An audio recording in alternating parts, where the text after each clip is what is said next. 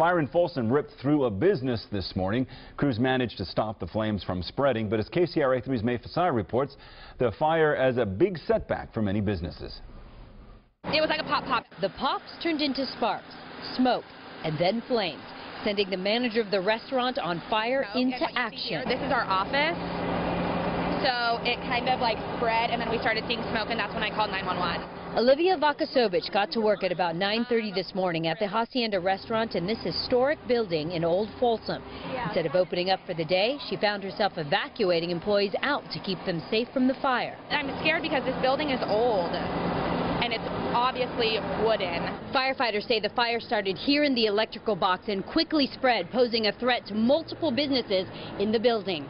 There's at least 50 to 60 employees and that's just Hacienda. We have about 17 stylists who work here um, seven days a week, and we're all fully booked, so we've got all those clients that have to be rerouted.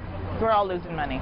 Firefighters say the building is at least 40 years old, giving fire crews a unique set of challenges in trying to contain the fire. The biggest risk with a building like this is just hidden fire. Uh, we have a lot of walls that are fairly large and contain a lot of electrical wiring. The fire spread to all levels of the building, including an underground basement.